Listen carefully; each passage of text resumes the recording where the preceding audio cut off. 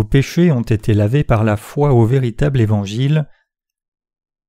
Genèse 3, versets 8 à 10. Alors ils entendirent la voix de l'Éternel Dieu qui parcourait le jardin vers le soir, et l'homme et sa femme se cachèrent loin de la face de l'Éternel Dieu, au milieu des arbres du jardin. L'Éternel Dieu appela l'homme et lui dit Où es-tu? Il répondit J'ai entendu ta voix dans le jardin et j'ai eu peur parce que je suis nu et je me suis caché. Tentés par Satan, Adam et Ève en sont venus à désobéir au commandement que Dieu avait donné. Vous ne mangerez pas de l'arbre de la connaissance du bien et du mal, qui se trouvait au milieu du jardin d'Éden.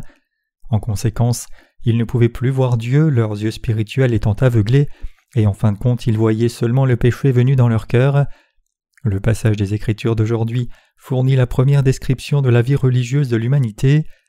Après avoir péché contre Dieu, Adam et Ève ont essayé de se couvrir eux-mêmes avec des vêtements de feuilles de figuier, et ils se cachaient de la présence du Seigneur parmi les arbres du jardin. Avant ils étaient heureux d'entendre la voix du Seigneur, mais maintenant qu'ils ont mangé de l'arbre de la connaissance du bien et du mal, le péché est venu dans leur cœur et ils ont eu peur de Dieu, la lumière de la vérité. C'est parce qu'ils ont basculé dans l'obscurité qu'ils en sont venus à avoir peur et ne pas aimer Dieu qui est la lumière. Jean 3, versets 19 à 20. Après qu'Adam et Ève, les ancêtres de l'humanité, aient péché, ils ont entendu Dieu et se sont cachés parmi les arbres. Spirituellement parlant, cela signifie que les pécheurs cherchent à se cacher dans une grande foule pour couvrir leurs péchés et se soustraire de la présence de Dieu. Même maintenant, c'est ce que les pécheurs font et aiment faire. Ils creusent eux-mêmes dans les religions du monde et se cachent toujours. De telles personnes aiment se joindre à des groupes religieux avec de nombreux adeptes, plutôt que de laver leurs péchés avec l'évangile de l'eau et de l'esprit. Ces personnes veulent couvrir leurs péchés en essayant encore plus de se cacher elles-mêmes dans la forêt profonde des religions du monde. Bien que tous ces gens soient clairement pécheurs devant Dieu, ils ont encore envie d'être approuvés par les autres religieux vertueux. Le troisième chapitre du livre de la Genèse illustre bien la foi de ces personnes. Le chapitre 4 d'autre part met en contraste la foi de Caïn avec celle d'Abel, ce qui nous donne une excellente description de la véritable foi qui plaît à Dieu. Comme décrit dans le chapitre 4, Abel a offert le premier-né de son troupeau et sa graisse à Dieu, tandis que Caïn a offert le fruit de la terre. L'offrande de Caïn n'a été rien de plus qu'un acte religieux, de la même manière que ses parents Adam et Ève l'ont fait après leur chute, en se couvrant eux-mêmes avec des vêtements de feuilles de figuier selon leurs instincts. Maintenant même, on peut encore voir de nombreuses personnes prendre le fruit de la terre comme leur offrande et présenter leur foi légaliste à Jéhovah. Bien que tout ait été créé par la parole de Dieu et que notre salut ait été accompli par Dieu, de nombreuses personnes essayent encore de venir dans la présence de Dieu avec le fruit de la terre qui est leurs propres actes. Aujourd'hui, les chrétiens du monde entier sont tellement habitués à leur vie religieuse que leur recherche de Dieu est complètement vaine. Offrant les choses de la terre à Dieu, les gens espèrent que Dieu les accepte avec plaisir. Apporter les choses de la terre comme offrande à Dieu n'est rien de plus que l'indication de la foi religieuse, et tous ceux qui adhèrent à cette foi sont des imbéciles. Nul ne peut recevoir la rémission de ses péchés en offrant des choses de la terre à Dieu. Par le préjugé erroné qu'une religion suivie par beaucoup doit être vraie, les gens cherchent à trouver la paix dans un groupe religieux avec une grande assemblée. Cependant Dieu a dit Tu ne suivras pas la multitude pour faire le mal et tu ne déposeras pas dans un procès en te mettant du côté de la multitude pour violer la justice. Exode 23, verset 2. Ceux d'entre vous qui croient dans l'évangile de vérité de l'eau et de l'esprit devrait savoir au-delà de tout doute que la croyance dans les doctrines par les soi-disant courants des dénominations chrétiennes d'aujourd'hui est fausse. Toutefois, d'innombrables personnes sont toujours trompées par Satan et prises au piège de la tentation par le principe de la majorité, et par conséquent elles sont incapables de se libérer de la boue des fausses doctrines chrétiennes et continuent à vivre comme des pécheurs. Dieu a encore appelé Adam et Ève qui s'étaient cachés, disant Où êtes-vous? Adam a alors répondu j'ai entendu ta voix dans le jardin et j'ai eu peur parce que je suis nu et je me suis caché. Est-ce que Dieu nous blâme pour le péché? Dieu ne dit rien au sujet de la nudité d'Adam et Ève. Après leur chute, Adam et Ève ont pensé qu'ils pourraient se cacher des yeux de Dieu s'ils se cachaient parmi les arbres, mais Dieu sait déjà tout sur notre véritable personnalité et nous voit toujours. Il veut appeler les pécheurs et les rendre justes. Pourtant, malgré cela, les gens tentent toujours de cacher leurs péchés. La Bible dit il n'y a pas de crainte dans l'amour, mais l'amour parfait bannit la crainte, car la crainte implique un châtiment et celui qui craint n'est pas parfait dans l'amour. 1 Jean 4 verset 18. Pourquoi les gens ont-ils peur? N'est-ce pas à cause des péchés qu'ils ont dans leur cœur qu'ils ont peur? Mais si nous connaissons la parole de l'Évangile de l'eau et de l'Esprit, la parole de Dieu, et si nous croyons vraiment en cela avec nos cœurs, alors il n'y a pas lieu de craindre Dieu. Peut-on vraiment laver nos péchés avec des prières de repentance? Dieu a créé des êtres humains pour vivre dans le jardin d'Éden, mais ils en sont venus à chuter dans le péché par la tentation de Satan et se sont cachés eux-mêmes de la présence de Dieu en disant J'ai entendu ta voix dans le jardin et j'ai eu peur parce que j'étais nu et je me suis caché. Cela nous indique que l'humanité a été disqualifiée pour vivre dans le jardin d'Éden. Qu'est-ce qui nous a disqualifiés, nous les humains, à vivre dans le jardin d'Éden? C'est le péché. Maintenant que nous sommes devenus pécheurs, alors comment pouvons-nous résoudre ce problème de péché? Nous avons la réponse dans la parole suivante de 1 Jean. Si nous confessons nos péchés, il est fidèle et juste pour nous pardonner nos péchés et nous purifier de toute iniquité. 1 Jean 1 verset 9. Que nous devions confesser nos péchés signifie que nous devrions admettre devant Dieu en disant Seigneur, j'ai commis tous ces péchés jusqu'à maintenant, j'en commets tous les jours et je suis lié à l'enfer. Dieu alors sauve-moi de tous mes péchés. Mais admettons ici que nous qui avons déjà reçu la rémission de tous mes péchés, nous commettions encore nous-mêmes des péchés. Est-ce que cela signifie alors que maintenant nous sommes encore pécheurs ou demeurons-nous encore sans péché? Nous sommes toujours sans péché. Lorsqu'il n'y a pas de péché, personne ne peut dire le contraire. Nous devons connaître la vérité. Pourquoi n'y a-t-il pas de péché alors?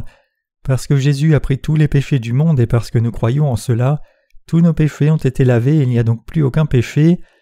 Malgré cela, les gens exigent encore des prières quotidiennes de repentance de notre part, citant le passage de 1 Jean 1 verset 9 qui dit que Dieu pardonnera nos péchés si nous les confessons. Mais si nous confessons nos péchés tous les jours, recevrons-nous réellement la rémission de nos péchés chaque jour? Non, nous ne pouvons pas la recevoir. Il est écrit Si nous confessons nos péchés, il est fidèle et juste pour nous pardonner nos péchés et pour nous purifier de toute iniquité. Ce passage signifie que puisque le Seigneur a déjà effacé tous nos péchés une fois pour toutes avec l'évangile de l'eau et de l'esprit, nous pouvons demeurer sans péché en admettant les péchés que nous commettons faisant confiance à l'évangile de vérité qui a effacé tous nos péchés. Grâce à l'évangile de l'eau et de l'esprit en d'autres termes, Dieu a déjà pardonné non seulement les péchés que nous commettons maintenant, mais aussi les péchés que nous commettrons jusqu'au jour de notre mort. Pourtant, d'innombrables chrétiens à notre époque disent encore que les péchés qu'ils commettent aujourd'hui sont pardonnés aujourd'hui s'ils les confessent aujourd'hui. Toutefois, ce que dit la Bible est complètement différent. La Bible dit que grâce à l'évangile de vérité de l'eau et de l'esprit, le Seigneur a déjà pardonné tous nos péchés une fois pour toutes, tous les péchés que nous avons commis et que nous commettrons jusqu'au jour de notre mort. En tant que tel, nous avons besoin de faire face à nos péchés par la foi, appliquant l'évangile de l'eau et de l'esprit. Lorsque les chercheurs développent de nouveaux médicaments, ils veillent à étudier quel type de réactions peuvent suivre lorsque différents médicaments sont administrés. C'est seulement après une longue période d'essais cliniques confirmant l'efficacité des nouveaux médicaments qu'ils sont introduits sur le marché. De même, vous devriez vérifier pour vous si vos péchés sont en effet lavés une fois pour toutes par la foi dans l'évangile de l'eau et de l'esprit, la parole de Dieu. Comme l'évangile de l'eau et de l'esprit est l'évangile de vérité qui est plus que capable d'effacer tous vos péchés, nous avons toute confiance pour vous encourager à croire en lui. Maintenant, vous devriez également vérifier si vos prières de repentance ont réellement effacé vos péchés. Lorsque vous faites des prières de repentance après avoir commis un péché disant Dieu pardonne-moi mes péchés s'il te plaît, Voyez-vous vraiment si ce péché a disparu de votre cœur? Non, ce n'est pas le cas. Ce que l'évangile de l'eau et de l'esprit dit dans la Bible n'est pas que nous sommes pardonnés de nos péchés tous les jours, mais que nous sommes pardonnés une fois pour toutes. C'est ce que l'apôtre Jean mentionnait en 1 Jean 1 verset 9. Parce que le Seigneur a déjà lavé tous nos péchés, ceux qui croient dans l'évangile de l'eau et de l'esprit ont déjà été remis de tous leurs péchés, disant Dieu, je suis un tel pécheur, mais je crois que tu as déjà pris tous mes péchés. Lavant non seulement nos péchés présents mais aussi nos péchés futurs, le Seigneur a rendu possible que ses croyants deviennent le peuple de Dieu. En d'autres termes, si nous confessons nos péchés par la foi dans l'évangile de l'eau et de l'esprit, Dieu nous purifie de toute iniquité. Cependant pour ceux qui ont du péché dans leur cœur et qui disent Seigneur, j'ai commis ce péché, s'il te plaît pardonne-moi, alors seulement ce péché est pardonné et tous les autres péchés demeurent encore intacts. Donc quand ils pêchent de nouveau le lendemain, ils devront dire une fois de plus Dieu, s'il te plaît, pardonne-moi pour mon péché. Les gens tentent d'interpréter la Bible à la lumière de leur histoire ou de leur culture. Certains disent Regardez, la première épître de Jean a été écrite pour les frères dans la foi, n'est-ce pas alors adressée aux justes Les érudits de la Bible disent que les trois épîtres de Jean ont été écrites pour les justes qui croient dans la parole de Dieu. Bien sûr qu'elles l'ont été. Après tout, y a-t-il une épître qui n'ait pas été adressée aux justes? Les actes, les Hébreux et les Romains ont tous été écrits pour les justes. Toutefois, les rédacteurs de la Bible parlent de l'amour de Dieu, non seulement pour les justes, mais aussi pour les pécheurs. La Bible parle de la même manière à la fois pour nous et pour les pécheurs. Dieu est Dieu pour nous tous.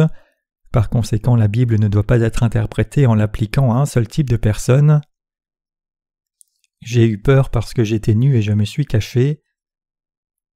Mes chers croyants, si seulement vous reconnaissez vos péchés et restez inconscient de l'évangile de l'eau et de l'esprit donné par le Seigneur, et si vous ne suivez pas cet évangile de vérité, alors vous serez juste des chrétiens stupides pour finir.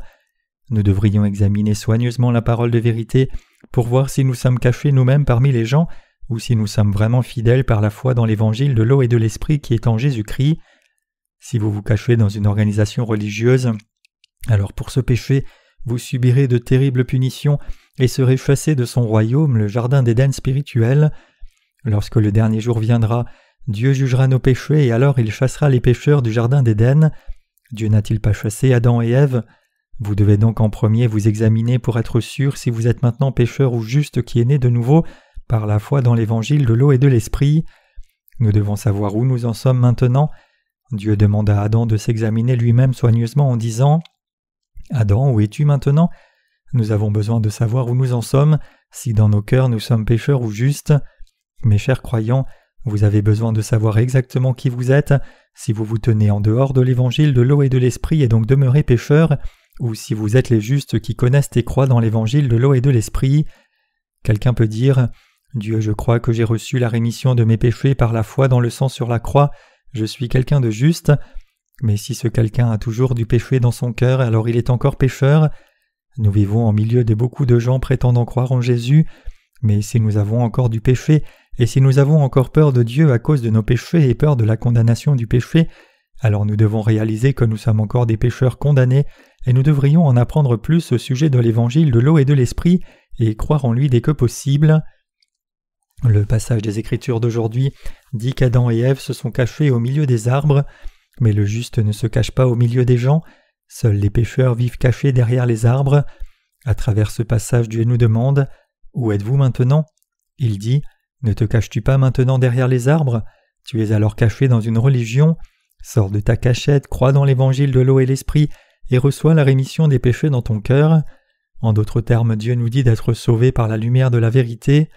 Quels que soient les péchés que nous avons commis, si nous apportons nos péchés devant Dieu, c'est-à-dire si nous apportons nos péchés devant l'évangile de l'eau et de l'esprit, alors nous serons remis de tous nos péchés. L'obscurité perd son pouvoir quand nous nous tenons dans la lumière. Peu importe la manière dont une pièce peut être sombre, l'obscurité disparaît instantanément au moment où vous tournez le bouton et allumez la lumière. Comme cela, le pouvoir des ténèbres est impuissant devant la lumière. Peu importe la façon dont nous pourrions être insuffisants, si nous venons à la vérité qui proclame que Jésus-Christ a effacé tous nos péchés avec l'évangile de l'eau et de l'esprit, alors tous ces péchés seront lavés une fois pour toutes, nous serons blancs comme neige. Comme dit dans le livre des juges, Dalila bondit sur son son avec sept cordes fraîches, mais dès que son son a exercé sa force, il rompit les cordes comme se rompt un cordon d'étoupe quand il sent le feu. Juge 16, versets 6 à 9.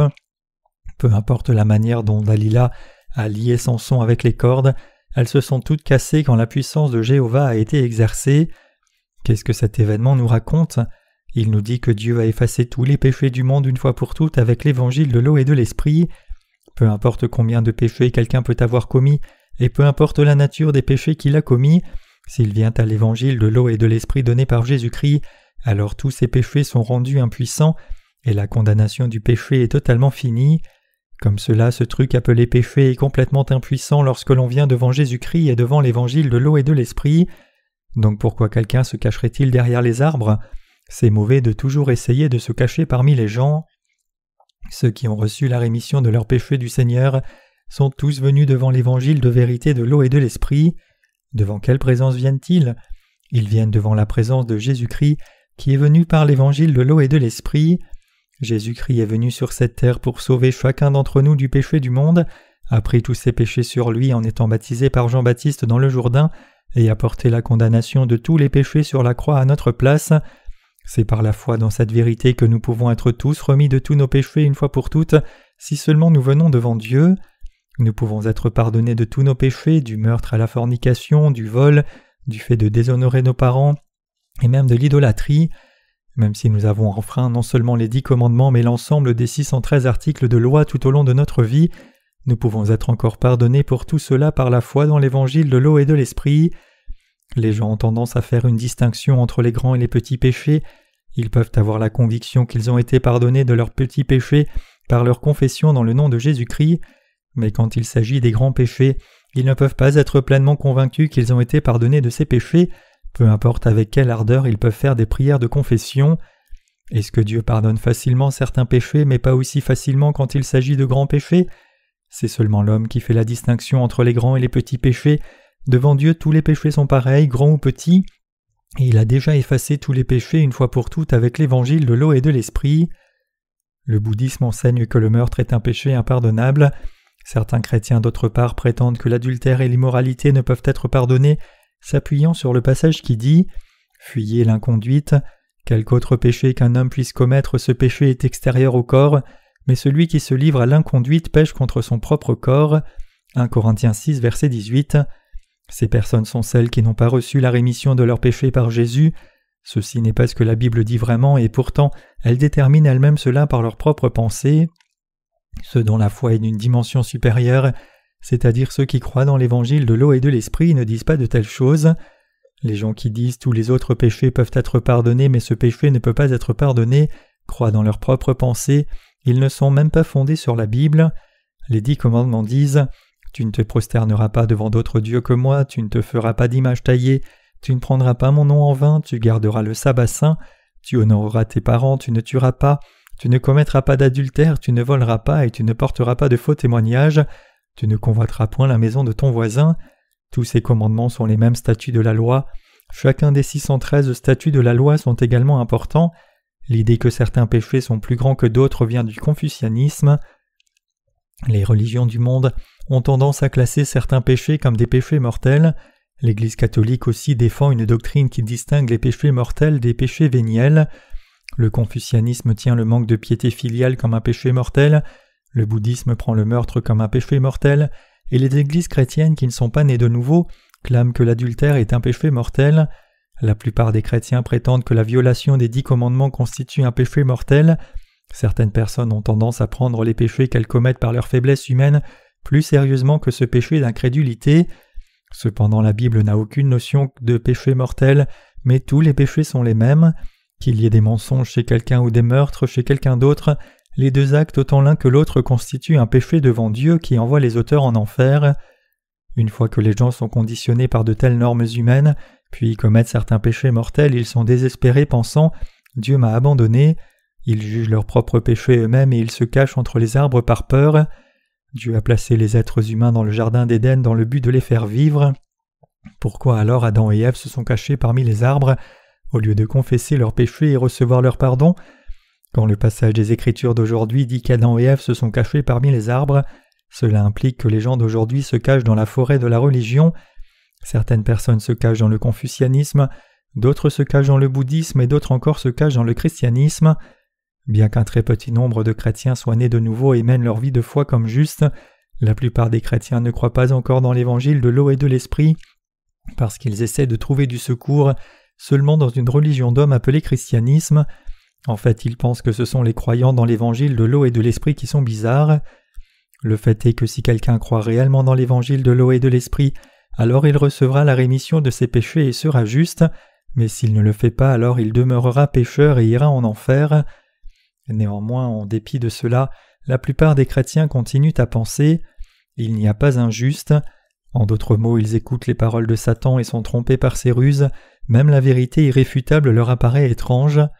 Adam et Ève ont commencé à douter lorsqu'ils ont écouté les paroles de Satan disant Non, Dieu vous a dit de ne pas manger de l'arbre de la connaissance du bien et du mal, parce qu'il avait peur que vous deveniez comme Dieu. Tout comme cela, lorsque les gens écoutent les mensonges de Satan, ils commencent aussi à avoir des doutes sur la parole de Dieu. Même un enfant se cache aux yeux de ses parents quand il a fait quelque chose de mal. Ainsi font tous les pécheurs devant Dieu. Par la prédication de l'évangile de l'eau et de l'esprit, nous devons en premier sortir ceux qui se cachent de leur cachette derrière les arbres, et nous avons à annoncer la bonne nouvelle que Jésus-Christ a effacé tous les péchés une fois pour toutes avec l'évangile de l'eau et de l'esprit. Jésus a effacé les péchés de tout le monde en ce monde, peu importe qui il est. Il les a tous effacés excepté le péché de renier et de contester la parole de Dieu. Savez-vous pourquoi l'ange déchu n'a pas pu être pardonné de son péché? C'est parce qu'il était si arrogant qu'il a défié Dieu jusqu'à la fin. Pourquoi les gens vont-ils en enfer? C'est parce qu'ils défient Dieu jusqu'à la fin. Tout le monde peut trouver la grâce de Dieu et recevoir la rémission de ses péchés pour vivre heureux si seulement il vient à Dieu. Ceux qui exposent leurs péchés complètement devant Dieu et se montrent honnêtement disant Voilà qui je suis et je vais continuer à être insuffisant recevront la rémission de leurs péchés. Cependant ceux qui se cachent ne peuvent pas recevoir la rémission de leurs péchés. Quand nous regardons ceux qui ont reçu la rémission de leurs péchés, nous voyons qu'ils ont tous franchement admis leurs péchés devant Dieu, mais ceux qui n'ont pas reçu la rémission de leurs péchés, tous se cachent. Ils se cachent parmi une foule de religieux disant Est-ce que tous ces gens sont alors de mauvais croyants? Ceux qui se cachent comme cela ne peuvent pas recevoir la rémission de leurs péchés et ils vont tous en enfer. Seuls ceux qui révèlent pleinement leurs péchés à Dieu peuvent recevoir la rémission de leurs péchés. C'est ce que Dieu dit dans le passage des Écritures d'aujourd'hui. Ainsi, afin de permettre aux autres de recevoir la rémission de leurs péchés, nous devons leur montrer et dénoncer qu'ils se cachent. Les gens n'aiment pas nous entendre leur dire N'êtes-vous pas quelqu'un qui commet de tels péchés? Ils cachent leurs péchés dans le fond de leur cœur tellement ils sont vexés lorsque nous trouvons leurs péchés et les signalons. Mais c'est ce que nous devons faire. Lorsque nous montrons les péchés cachés, ceux qui les admettent sont sauvés, mais ceux qui s'entêtent à les cacher jusqu'à la fin ne peuvent pas recevoir la rémission de leurs péchés. Nous ne devrions jamais nous cacher de Dieu. Pour être transformés spirituellement devant Dieu, tout ce que l'on a à faire est de découvrir ce qui est caché dans son cœur devant Dieu et l'admettre. Alors on deviendra spirituellement lumineux et il n'y aura plus de condamnation. Nous devrions admettre que notre succès est dû à Dieu et que notre échec est dû à notre péché que nous avons à l'origine hérité d'Adam. Même ceux qui ont reçu la rémission de leurs péchés essayent de dissimuler leurs faiblesses. Est-ce que Dieu ne sait pas que nous les êtres humains sommes faibles? Il sait tout cela. Pourquoi alors essayons-nous de nous cacher puisque Dieu sait tout? Lorsque nos défauts sont révélés, notre fierté est blessée, nous sommes tous vexés, mais ce sont ceux qui révèlent tout devant Dieu qui sont bénis et guéris. Si nous essayons de nous cacher, nous serons découverts tôt ou tard. Même si nous cachons nos péchés jusqu'à la fin, quand nous nous tiendrons finalement devant le trône du jugement, nous ne serons plus en mesure de cacher nos péchés et nous serons jetés en enfer. Notre Seigneur dit Arrange-toi promptement avec ton adversaire pendant que tu es encore en chemin avec lui, de peur que l'adversaire ne te livre au juge, le juge au garde et que tu ne sois mis en prison. Matthieu 5, verset 25. Nous devons révéler notre véritable être devant Dieu le plus tôt possible et recevoir la rémission de nos péchés. La parole de Dieu est la réelle vérité du salut. Quand Dieu a demandé à Adam pourquoi il s'est lui-même caché de Dieu, il aurait dû avouer J'ai mangé le fruit que tu m'as commandé de ne pas manger, mais à la place il a trouvé une excuse en disant La femme que tu as mis avec moi, elle m'a donné de l'arbre et j'ai mangé. Mais n'est-ce pas Adam qui a mangé le fruit défendu à la fin? Peu importe qui le lui a donné, à la fin le résultat est qu'Adam a mangé ce qu'il était dit de ne pas manger. Si Adam a mangé ce que Dieu lui a commandé de ne pas manger, alors il avait juste à reconnaître sa faute et confesser sa désobéissance à la parole de Dieu, quelle que soit la manière dont il l'a fait. Au lieu de cela, il a essayé de s'excuser en disant La femme que tu as mise auprès de moi, elle m'a donné de l'arbre et j'ai mangé. Essentiellement, Adam a proclamé que ce n'était pas sa faute. N'est-ce pas juste une autre manière de rendre Dieu responsable en fin de compte? Adam, en gros, disait qu'il n'avait rien fait de mal, puisque la femme que Dieu avait faite l'avait tenté. Quand nous nous égarons, il est important d'admettre le résultat à Dieu, mais il est également important de dévoiler le processus. Cependant, les gens ont tendance à ignorer le processus et à ne souligner que le résultat. Il m'arrive d'être un peu trop impatient de temps en temps et donc lorsque quelqu'un a une longue conversation, je lui demande souvent de juste aller au but. Lorsque ma femme et moi cherchons des arguments occasionnels, l'un de nous est trop impatient et souvent va droit au but. Et alors quelle est ton idée? Il suffit de me dire quel est ton point de vue. Je n'ai pas le temps d'écouter tous ces discours, qu'est-ce que tu veux dire? Il suffit juste de me dire ton point de vue et je comprends tout cela. Cependant, Dieu remonte à la chute de l'homme tout à fait à son origine, trouvant exactement qui lui a fait faire ce qu'il a fait, et maudissant le serpent qui a perpétré cela en disant Tu mangeras la poussière tous les jours de ta vie. Pour que nous recevions la rémission de nos péchés, il ne faut pas venir avec des excuses. Pourtant les gens ont beaucoup d'excuses. Chacun a une raison du pourquoi. Qui a jamais commis un péché sans une excuse? Tout le monde a proprement parlé, mais tout ce que nous avons à faire est simplement admettre que nous avons commis un péché. Est-ce que le Tout-Puissant ne sait pas cela? Il sait tout cela, si nous devions venir avec des excuses, alors il y en aurait beaucoup. Certains peuvent dire J'ai essayé de ne jamais pécher, mais Jeanne est venue avec moi et voulait que nous péchions ensemble, et j'ai donc fini par pécher contre ma volonté. D'autres peuvent dire Je ne voulais pas le tuer, mais il est venu derrière moi, aussi je l'ai frappé et il vient de mourir, maintenant je viens de me faire injustement accuser de meurtre. Et d'autres encore peuvent dire Je suis allé dans une grande église et je crois ce que mon pasteur a dit, et je suis donc sûr que j'irai au ciel. Mais l'enseignement de ce pasteur est faux, je ne savais même pas qu'il y avait des mots tels que la rémission du péché dans la Bible. Peu importe la façon dont les gens peuvent discuter comme cela avec leurs excuses, s'ils ont péché alors ils seront jetés en enfer, l'enfer est rempli d'excuses. C'est pourquoi il est dit que ceux qui sont jetés en enfer grincent des dents. Ils grincent des dents parce qu'ils ont beaucoup de choses à dire, c'est un chaos complet. Parfois les gens disent tout l'enfer était déchaîné pour décrire une situation chaotique ou c'est un véritable enfer pour décrire des souffrances extrêmes. Donc à partir de ces seules paroles nous pouvons comprendre quelle sorte d'endroit est l'enfer sans même y aller. Vous aussi êtes très proche d'aller en enfer, non? Alors que le ciel est calme, propre et paisible, l'enfer est un complet désordre. Combien il doit être dur de protester pour l'innocence de quelqu'un dans un feu brûlant. Ceux qui ne parviennent pas à recevoir la rémission de leurs péchés seront donc en conséquence envoyés dans cet endroit pour toujours, protestant pour leur innocence et trouvant toutes sortes d'excuses tout comme Adam. Dieu dit à tous les pécheurs de venir devant sa présence comme ils sont, plaçant leur foi dans le baptême et le sang de l'agneau sacrificiel Jésus-Christ. Si Dieu dit que Jésus-Christ a effacé tous nos péchés une fois pour toutes avec l'évangile de l'eau et de l'esprit comme cela, alors tout ce que nous avons à faire, c'est juste croire en cela simplement et apporter cette foi avec nous. Celui qui a péché doit venir à Jésus et dire Je suis un pécheur, je ne peux pas m'empêcher de continuer à pécher à l'avenir, je suis insuffisant, Seigneur, sauve-moi s'il te plaît. Jésus-Christ dira alors J'ai pris tous tes péchés par le biais de mon baptême, et en étant crucifié et versant mon sang sur la croix, j'ai déjà effacé tous tes péchés, ceci est comment j'ai effacé tous tes péchés. Alors tout ce qui reste à faire pour les pécheurs maintenant est de dire simplement Merci Seigneur, tu m'as sauvé, et entrer et vivre dans le jardin d'Éden pour toujours. La Bible n'est pas une vérité compliquée, elle est tellement pure et simple. Nous devons sortir de nos cachettes à cause des péchés et les mettre à la lumière. C'est pourquoi lorsque nous prêchons l'Évangile aux gens, nous soulignons et exposons leurs péchés. Ceci est la bonne manière quand nous prêchons l'Évangile aux pécheurs. Les gens bien sûr n'aiment pas cela.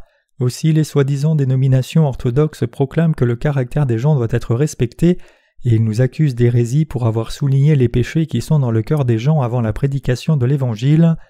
Cependant, insister sur le péché n'est pas un enseignement hérétique. En fait, pour prêcher l'Évangile, il faut d'abord révéler les péchés cachés dans le cœur des pécheurs. Y a-t-il un médecin qui traite une maladie sans en premier faire un diagnostic correct? Si un médecin faisait cela, alors ce doit être un charlatan.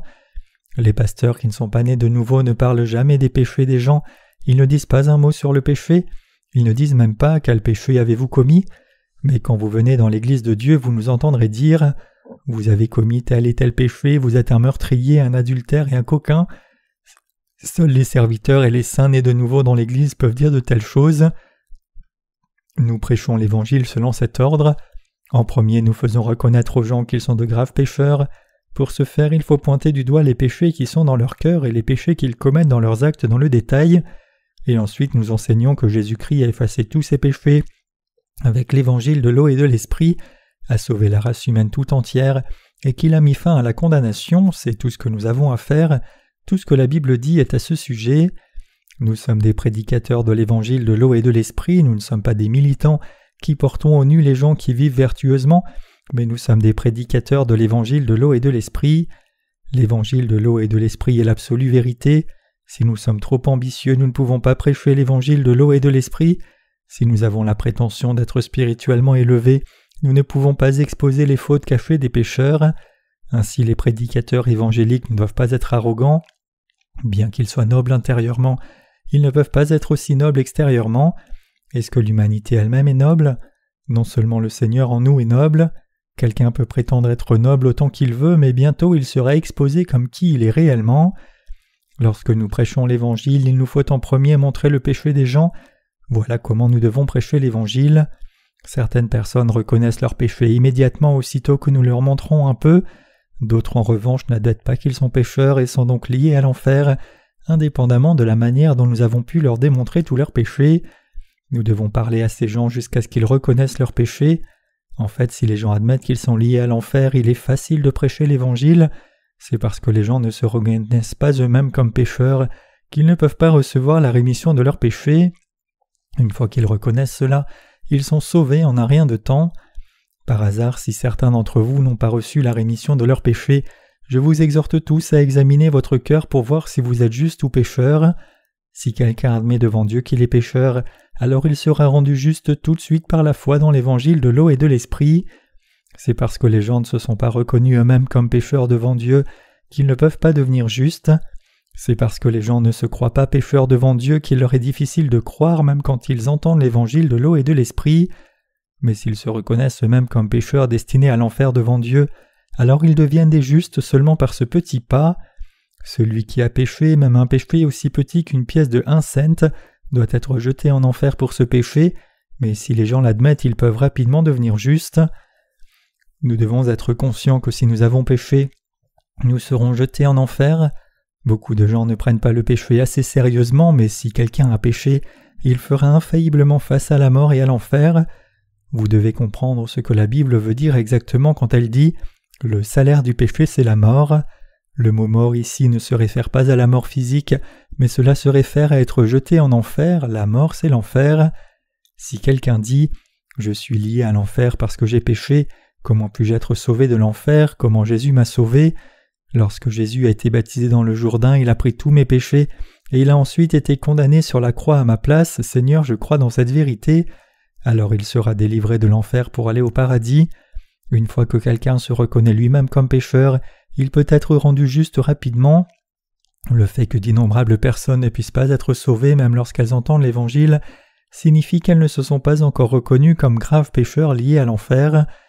Lorsque j'assistais à des séminaires, j'ai constamment demandé pourquoi, pourquoi Jésus a-t-il été baptisé, pourquoi faut-il être baptisé. Ainsi, lorsque j'étais dans la soi-disant dénomination orthodoxe, j'étais traité comme un homme étrange, mais malgré tout j'ai continué à soulever de telles questions. Il y en avait beaucoup qui prétendaient connaître toutes les réponses, mais il n'y en avait pas un seul qui me fournissait de réponses satisfaisantes. Je lisais la Bible tout le temps, mais j'avais encore beaucoup de questions, pourquoi Adam et Ève se sont cachés derrière les arbres? Pourquoi est-ce que la Bible dit que le salaire du péché c'est la mort? Quel est le sens biblique de la mort? Lorsque j'ai lu le Nouveau Testament, j'ai veillé à rechercher les passages correspondant dans l'Ancien Testament, et j'ai trouvé que l'Ancien et le Nouveau Testament parlaient invariablement de ce même message. Après avoir cru en Jésus pendant dix ans, j'étais finalement devenu un véritable pécheur. Après avoir cru en Jésus pendant dix ans, j'en suis venu à admettre que je n'étais pas simplement un pécheur, mais que j'étais un pécheur qui était réellement lié à l'enfer. J'étais possédé par un démon et le démon murmurait à mes oreilles disant Tu as péché, n'est-ce pas? Je sais que tu as commis tel ou tel péché. J'étais tellement tourmenté en ces jours. Cependant, le Seigneur m'a rencontré par l'évangile de l'eau et de l'esprit. Comme je me suis rendu compte que j'étais lié à l'enfer après dix longues années depuis que j'étais devenu chrétien, j'ai finalement compris. Oh, Jésus a porté tous mes péchés par son baptême comme cela, et il les a tous pris comme cela. Bien que cela m'ait pris dix ans pour réaliser que j'étais lié à l'enfer, à partir de là il ne m'a pas fallu longtemps pour recevoir la rémission de mes péchés. Pour que les chrétiens se rendent compte qu'ils sont liés à l'enfer, ils ont généralement mené une vie religieuse durant une période de temps considérable. Il faut environ une décennie pour réaliser cela, mais certaines personnes oublient le fait qu'elles sont de graves pécheurs destinés à l'enfer, même après cinquante ans de vie religieuse. Cependant, ceux qui essayent de mener leur vie religieuse correctement avec une bonne conscience finalement en viennent à réaliser qu'ils sont liés à l'enfer. Donc pour ceux d'entre nous qui ont reçu la rémission des péchés dans leur cœur sans avoir suivi beaucoup de vie religieuse, je les considère réellement bénis et heureux.